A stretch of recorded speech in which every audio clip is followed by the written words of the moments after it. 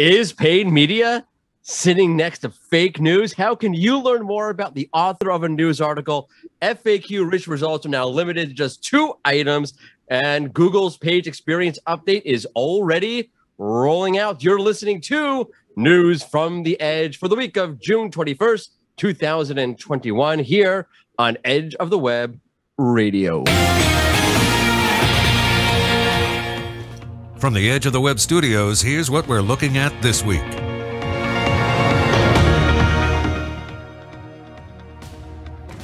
This is Edge of the Web Radio. I am your host, Mordy Oberstein, filling in for Erin Sparks. Erin is on vacation. I am also on vacation, but I am still here, but Erin is not here. That just tells you everything you need to know about me and everything you need to know about Erin Sparks. Each and every week, we bring you amazing guests to chat about trending digital marketing topics.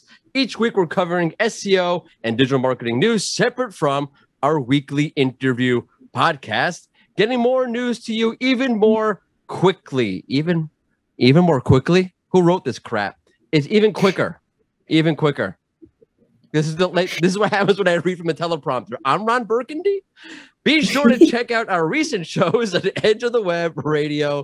edgeofthewebradio.com. Welcome to the Site Strategic Digital Marketing News Desk of Edge of the Web. That's a very long name, also.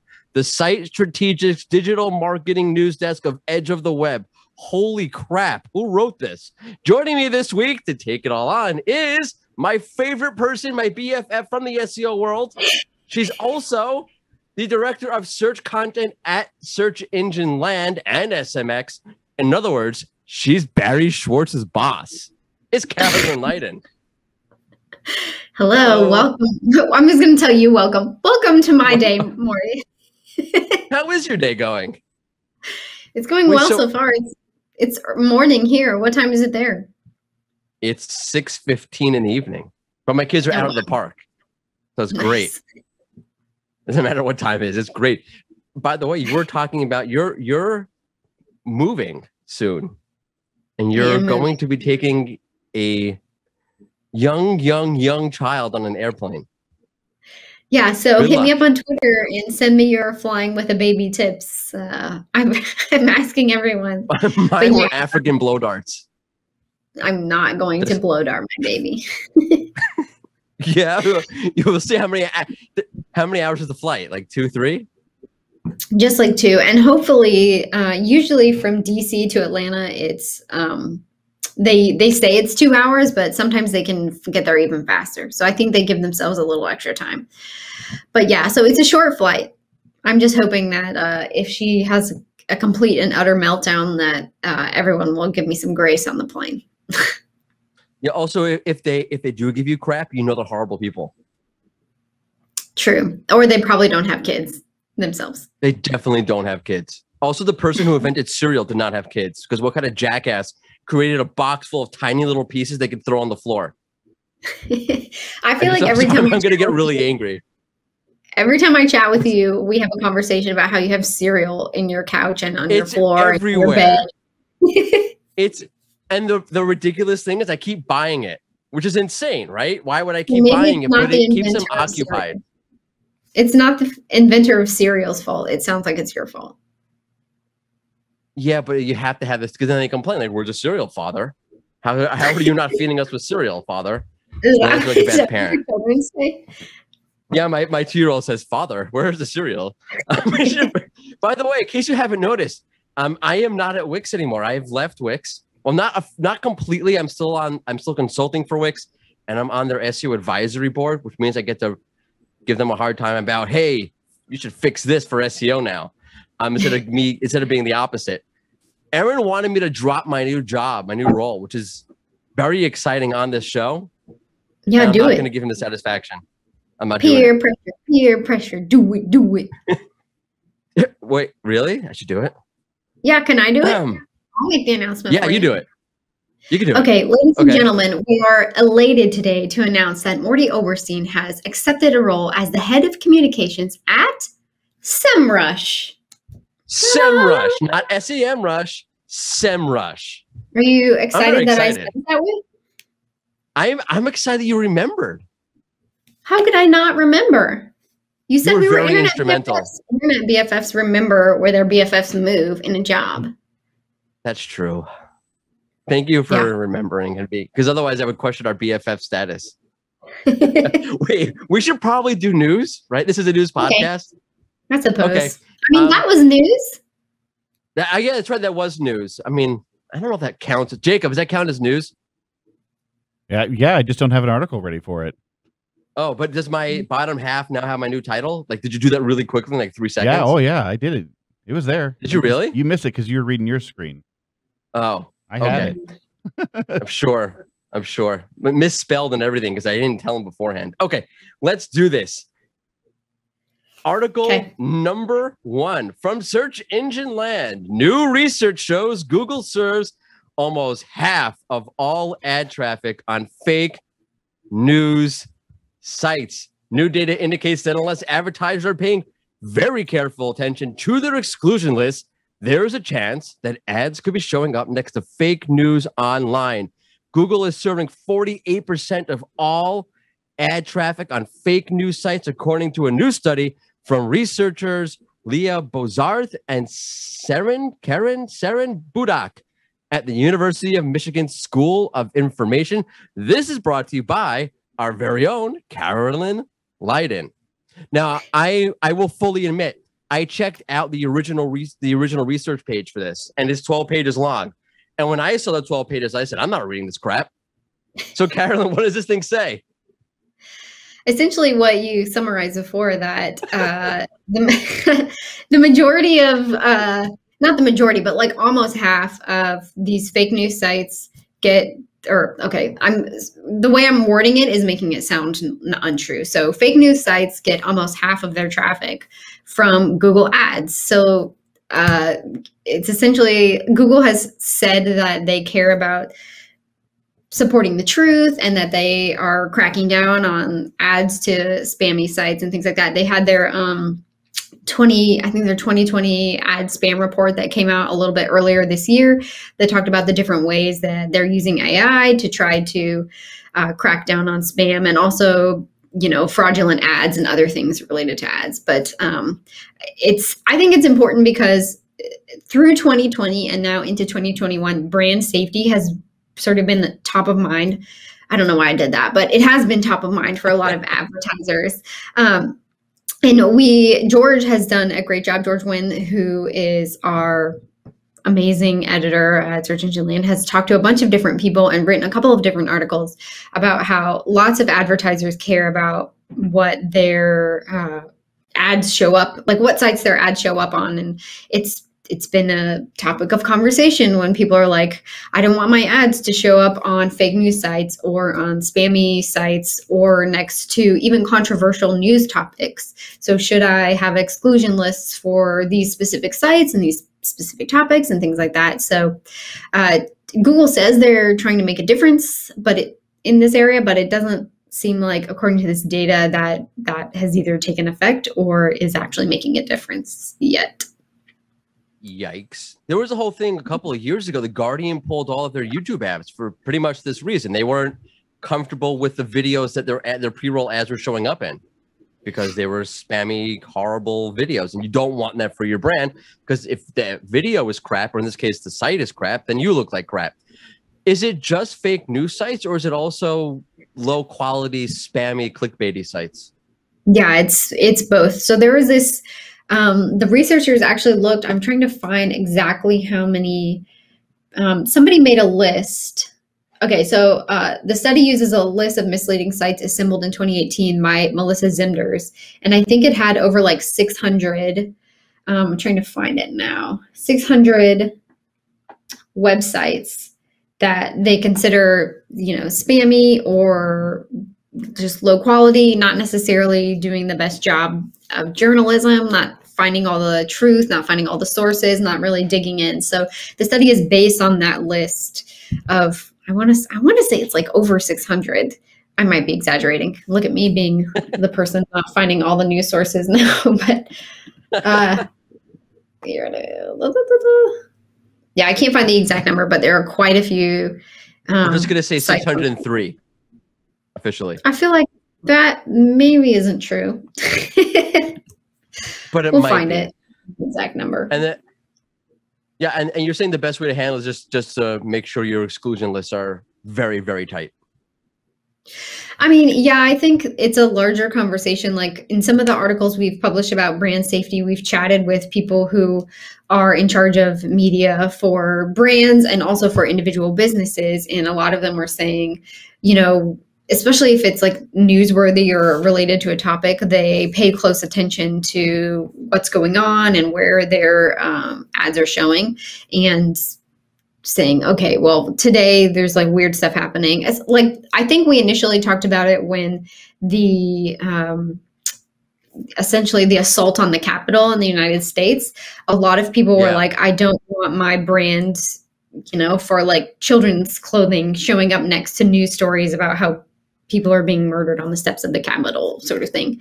So um, keeping those exclusion good idea. lists yeah tight and then also keeping an eye on the news it's um other other people have the opinion that if it's a reputable site and it's sort of a news topic that's maybe not one to one with your brand that maybe consider other things than pulling back your ads completely because you do want to support the good journalism that is happening and publishers who are seeking out the whole truth so that it's not just going to the people who are spouting fake news. But yeah, it's an individual strategy that you have to sort of come up with for your Yeah, agency. I think if you have a lot of clients, advertising clients, and then if you're in house, then specifically for your brand, like where do we want these to show up? Like you were saying with the YouTube example.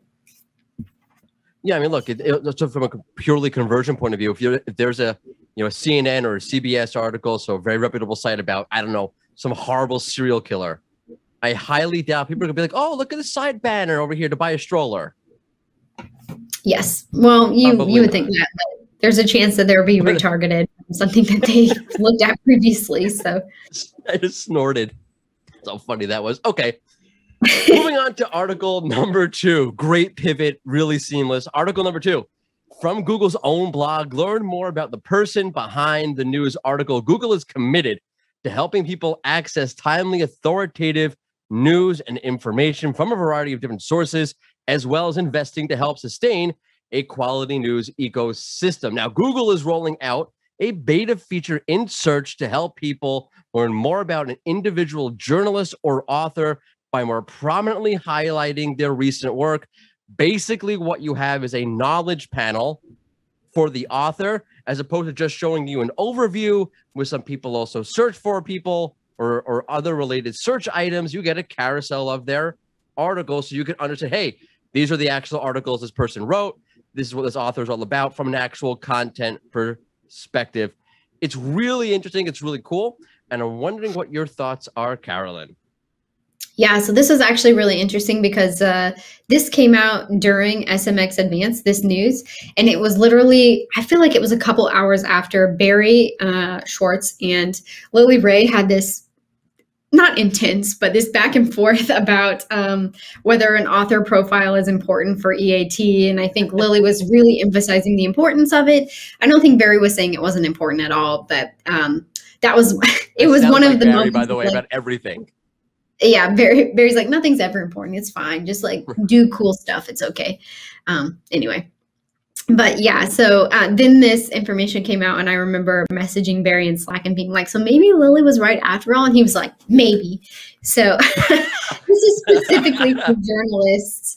And uh, yeah like you were saying it's supposed to highlight the the good work that they're doing in publishing. And i also think I'm, I mean, I don't have confirmation, but it seems sort of related to the work that Google is doing, even in other countries, regarding publishing, making deals to ensure that uh, publishers are paid for their work, the showcase that they're doing uh, in other countries, and things like that. So I think it's one of their other steps, to, maybe in goodwill, even to help sort of bring reputable journalists to the forefront and highlight the work that they're doing and the their background like their history background like this person has been working in journalism for a long time they're a reputable source here are the stories that they've been working on here's their beat or something like that so i think there are lots of factors up here it's really, really. I know, for example, I know Mark Traphagen posted on Twitter that he saw all of a sudden he was able to claim a knowledge panel, and it had those that that carousel of articles there,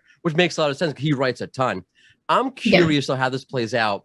It you would have to imagine Google has said they've done this. Why Lily's saying write the write the bios that Google's profiling authors saying, okay, this author writes about this. Like Mark writes about um, keyword research and and content marketing, content strategy.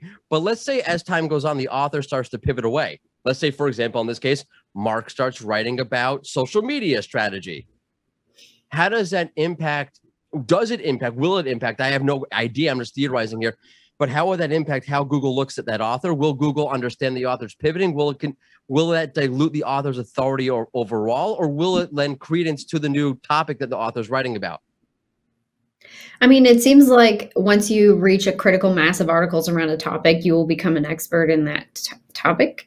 Um, and I perhaps there may be some like overall dilution of if you were writing about something really specific beforehand. But I think if you zoom out a little bit, there's still an overarching topic. Like we're talking about content marketing, whether it exists on a website or on a social media platform, that sort of thing, which I'm hoping with, you know, all of the AI and machine learning that Google announced at like I/O and things like that, and um, Google Marketing Live, that they will sort of get the picture that that's what's happening overall.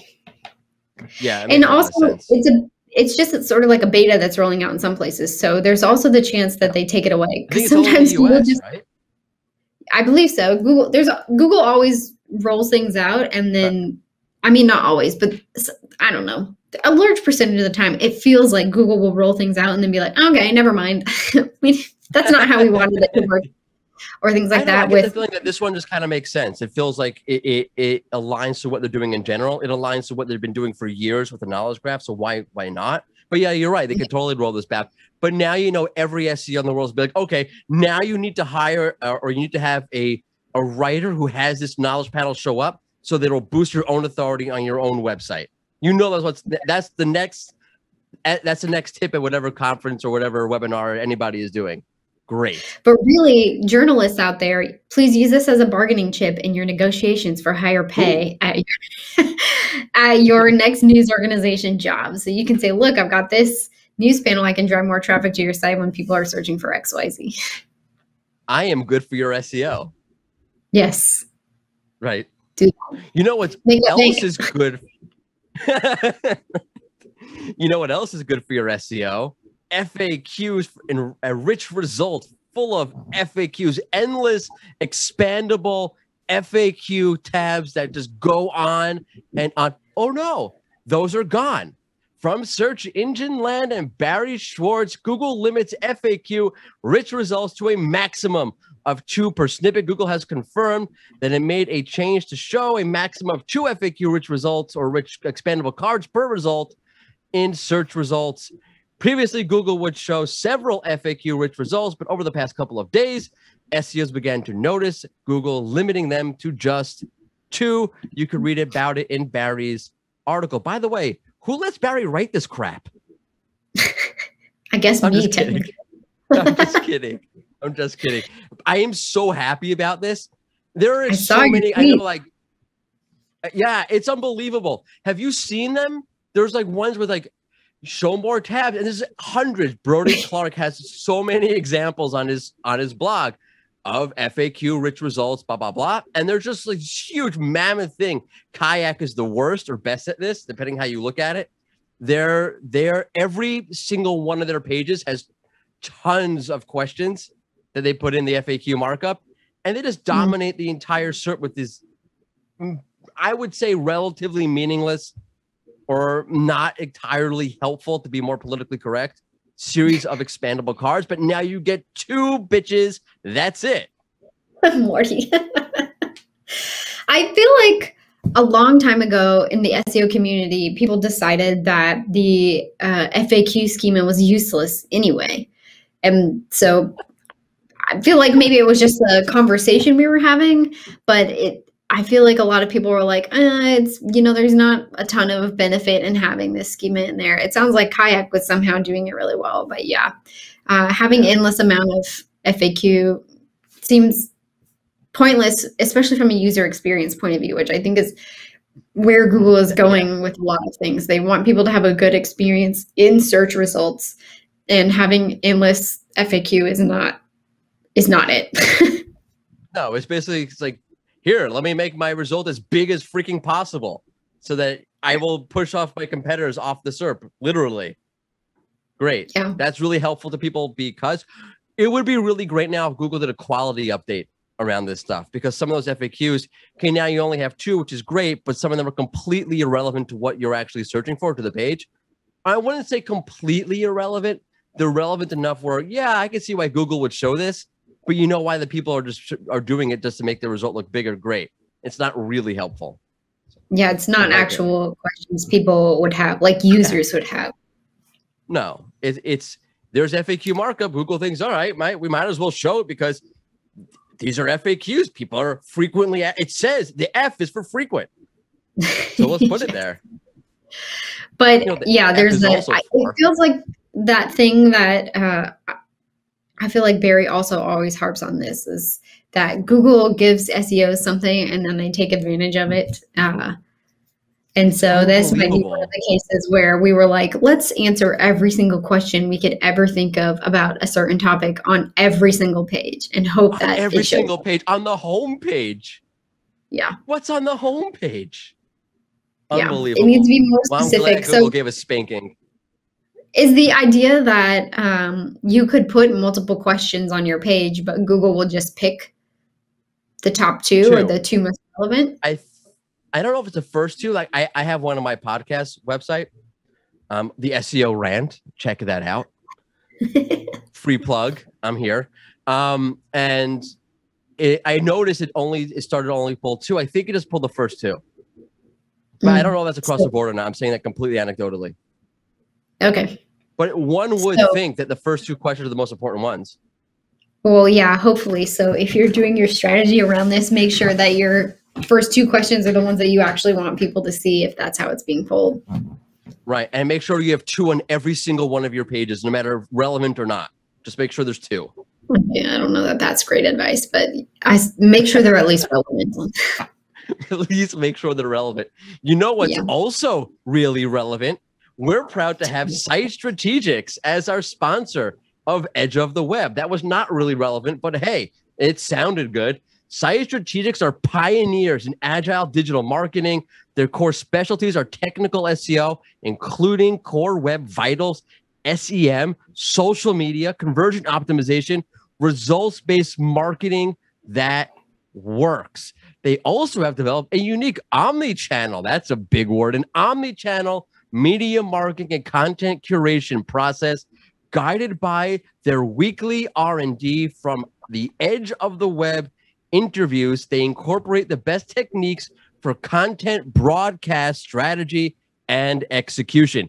If you are interested in what they can do for you, give them a call at 877 SEO for web. That's 877 736 4932. Just tell them that Mordy sent you. On to article number four. How could I just we not talk about interrupt for a second and say that good for you for getting that phone number right because as I was reading it in my head, I mixed up the numbers and I was like, oh, thank goodness I am not reading this one aloud. I, I have to, by the way, because I make fun of Erin that he gets his own phone number wrong in every single episode. Oh. So like now I feel like I have to. It's the one thing I have to get right in the show. Nice. And it's probably the only thing I have gotten right on this show so far. Is the phone number. this this will be the last time I sit in the captain's chair. Article number four, or as the slide I'm reading says, news article number four from Barry Schwartz's. Yes, two Barrys. Every episode must contain at least two articles from Barry and one from somebody else. From Search Engine Roundtable, Google's page experience update rolling out between June 15th and end of August. Last week, Google not only said that the June 2021 core update finished rolling out on June 12th, but it also said that on June 15th, just to keep beyond your toes, it began rolling out the slow process of rolling out the page experience update. Great. Now you don't know if you're impacted by the core uh, the core update or if you're impacted by the page experience update. Thanks, Google. Um, reminder: This was supposed to be rolled out in May, but it was delayed for undisclosed reasons. Undisclosed reasons. They don't know what they don't know how it's going to impact things yet. It's it's so flowing and dynamic. You have websites that don't have traffic, that don't have these core web vitals. Then they're going to be in tiebreaker situations with sites that do have traffic. How is it going to work out? How is it all going to fall out? Google is, my personal opinion, is rolling this out very slowly because it hasn't exactly figured out how to best handle all of these questions that are still left in the air. And it's one, hey, let's just roll this thing out. Let's impact everything, or not everything. Let's impact rankings to the fullest extent that the page experience update could and deal with the fallout later, it makes more sense to see how this goes slowly because I personally think they don't quite have it all figured out yet because it's a fluid situation. But that's just me. Let's hear what Carolina has to say. Yeah, well, I just want to add to that that so they so they rolled out the June core update.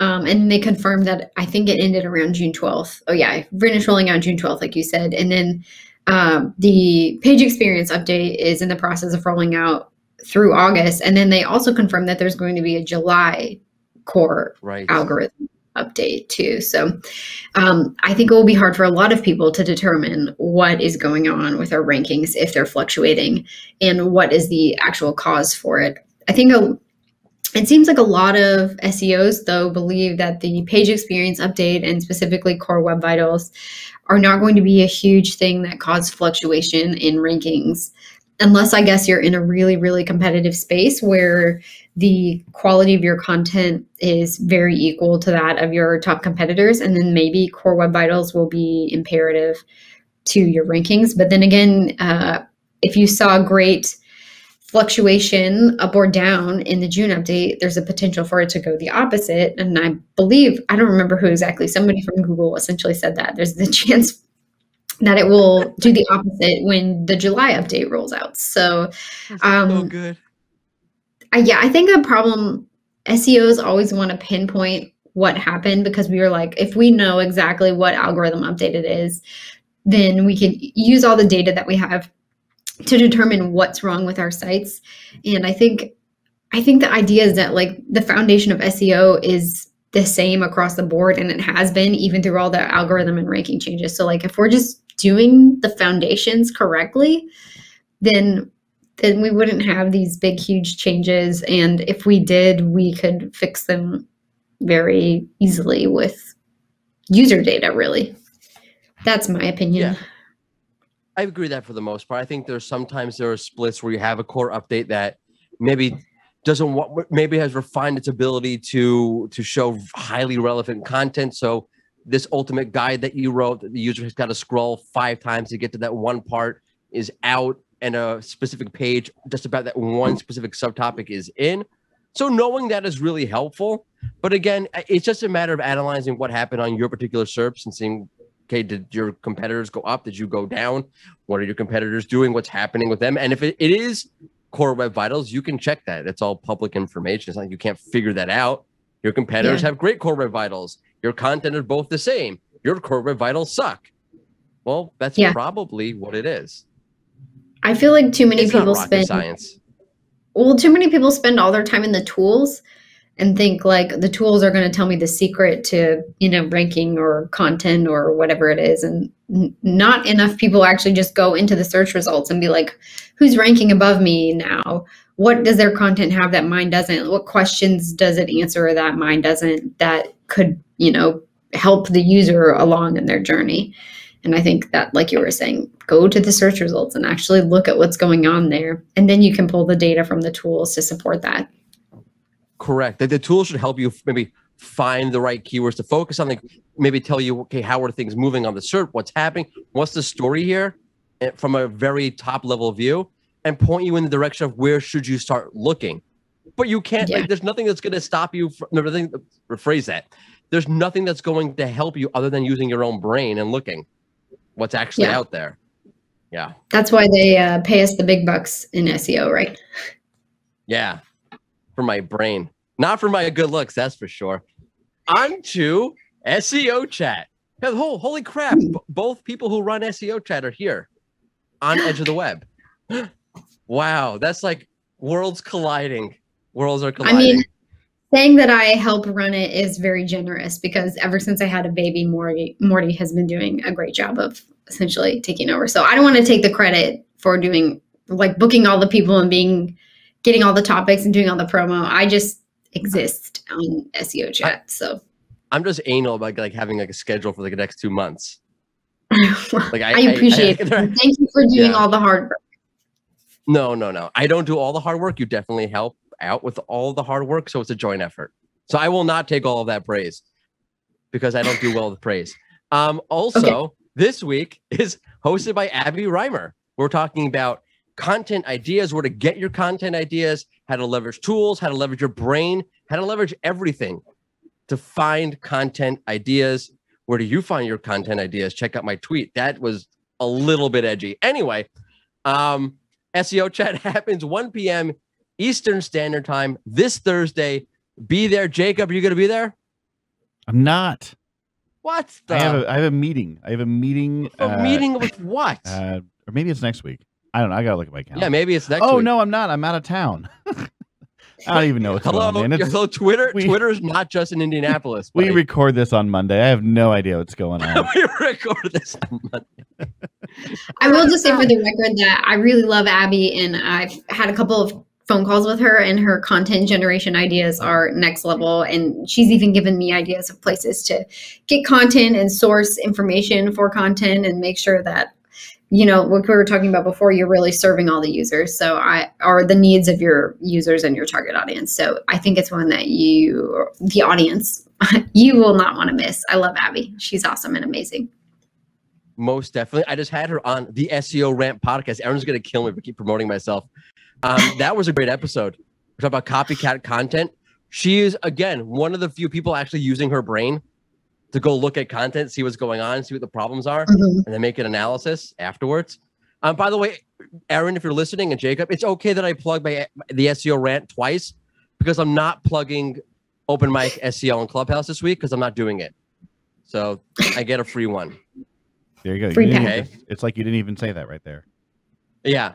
Um, open mic SEO usually happens on Clubhouse on Wednesdays at 10 a.m. Eastern Standard Time. Just you know, throw that in there. Whole, anything else I need to promote? No. Okay, that's it for Edge news this week. Check out Bill Slawski's interview segments. Uh, be sure to like, comment, and subscribe to our YouTube channel to get up to date information when we go live with our next show. Thank you so much, Carolyn, for coming on. Just for me, an honor and a ton of fun. Probably a pain in the neck for you, but thank you. Mm-hmm. Um, Thanks for having me. I'm always happy to chat with Mordy. And to be frank, I'm kind of disappointed we didn't have any conversation about football, which is usually how we start oh, these. Uh, can we talk? Can, is it too late to talk about Julio Jones going to the Titans and the fact that the Steelers have an 85 year old quarterback whose just knees are disintegrated? Uh, 85 is aggressive, but uh, yeah, we can. When he moves, I mean, my grandfather moves better than him the saddest part, in my opinion, about Julio is that he wanted to leave. He didn't want to stay with us. Uh, yeah, Elena talks about the hashtag brotherhood, but all these brotherhood people always leave us. but you still have Matt Ryan. You got on um, what's his name? The number three pick, number four pick, the the tight end of all tight ends. I can't remember his name. Oh, I can't either for the. I never know. I feel like. But he's supposed to be amazing. sure. Well, the problem is that we always get offense. So we never get any uh, We'll see. We'll see how this year goes. Every year we're like, it's a building year. We can't build forever. well, you could. You could be the Jets. Anyway, um, I always got to take a quick. I'm from New York originally. So I always got to take a quick shot at the Jets. Um, from all of us over at Edge, stay safe, stay well, and don't be a piece of cyber driftwood.